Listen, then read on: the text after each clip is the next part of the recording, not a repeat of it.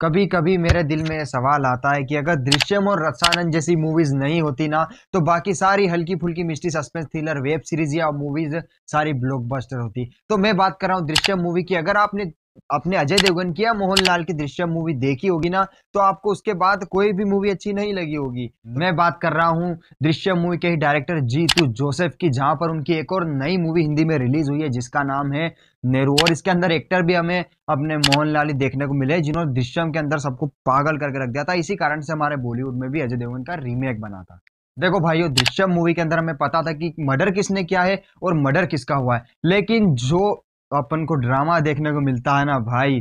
वो आज तक आपने किसी भी मूवी के अंदर नहीं देखा होगा। तो मैं बात कर रहा हूँ यहीं पर, नेहरू मूवी के अंदर हमें पता रहता है कि रेप किसका हुआ है और रेप किसने किया है। लेकिन जिस तरह से कोर्ट के अंदर वो प्रूव करते हैं ना भाई, वो आपका दिल जीत लेगा।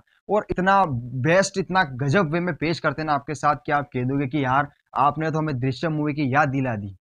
अब स्टोरी तो देखो सिंपल सी, जहाँ पर एक लड़की अकेली रहती है और उसका रेप हो जाता है। लेकिन अब उसके बाद वो केस कोर्ट के अंदर जाता है और वहाँ पर कैसे क्या होता है कोर्ट रूम ड्रामा चलता है, वो आपको देखने में मज़ा आ जाएगा। अब बात करें परफॉर्मेंस की तो भाई मोहनलाल, भाई मैं क्या बोलूँ आप मोहनलाल को किसी भी मूवी के अंदर देख लो, किसी भी रोल में देख लो, वो आपको कभी निराश कर ही नहीं सकते और यहाँ पर भी आपको निराश नहीं करते। जहाँ पर हमें मूवमेंट दिखता है कि वहाँ इमोशन होना चाहिए, जो एकदम थ्रिल होना चाहिए अंदर की भाई केस नहीं हार जाए, वो सब कुछ आपको मोहनलाल के चेहरे से ही दिख जाता है। भाई यार उनका चेहरा एक्सप्रेशन उनको देख के ऐसा नहीं लगता कि ये मूवी के अंदर कुछ कमाल कर देंगे। लेकिन यार वो जो एक्सप्रेशन देते जो फील कराते अपने को भाई गॉड लेवल मतलब मान गए उनको किसी भी रोल के अंदर वो फिट बैठ जाए इस मूवी का जरा सा भी स्पॉइलर नहीं देना चाहूँगा क्योंकि ये मूवी आपको वो पेश करेगी कि आपको इस मूवी देखते वक्त कहीं कहीं ऐसा लगेगा कि यार क्यों हो रहा है ऐसा नहीं होना चाहिए। कहीं कहीं आपको इमोशनल फील होगा कहीं कहीं आपको कुछ ऐसा लगेगा कुछ वैसा लगेगा कहीं कहीं आप ये क्या हुआ?